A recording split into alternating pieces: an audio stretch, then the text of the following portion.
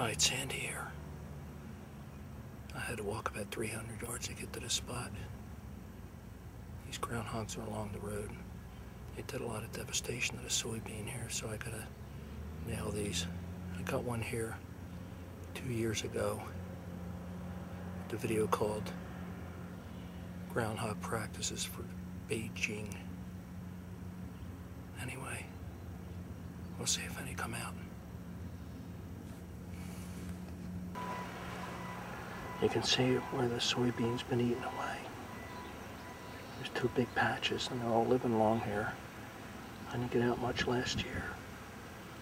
So they really multiplied. Gotta do a better job this year.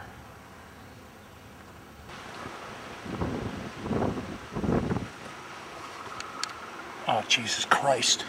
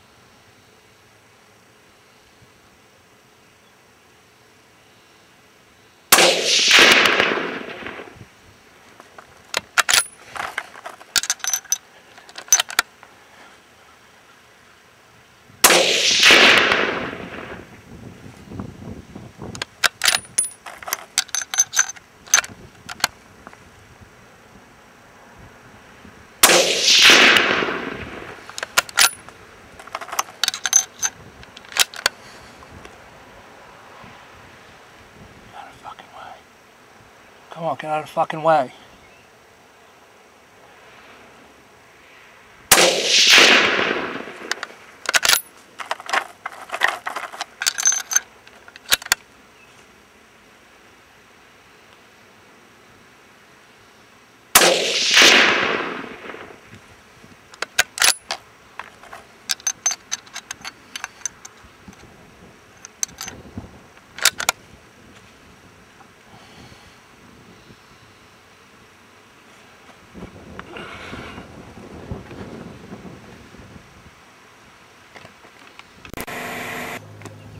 Right, here we are down where the groundhog came blown out of the hole.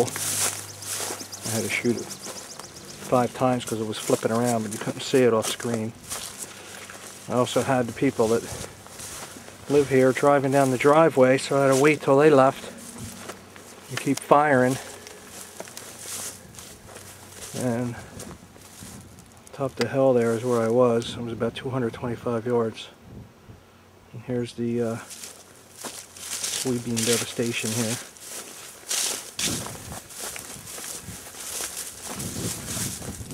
I already found this groundhog and moved him. He uh, wasn't where I got him now.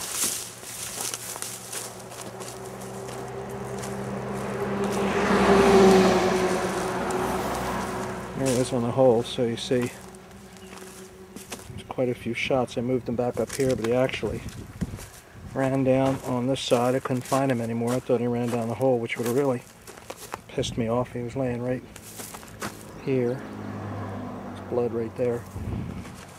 So brought him back up here, and now he's going to be buzzard food. One down. There's another hole. And then there's more over here, so that's it for now. It's about quarter after five. I want to go hit another farm. See you later.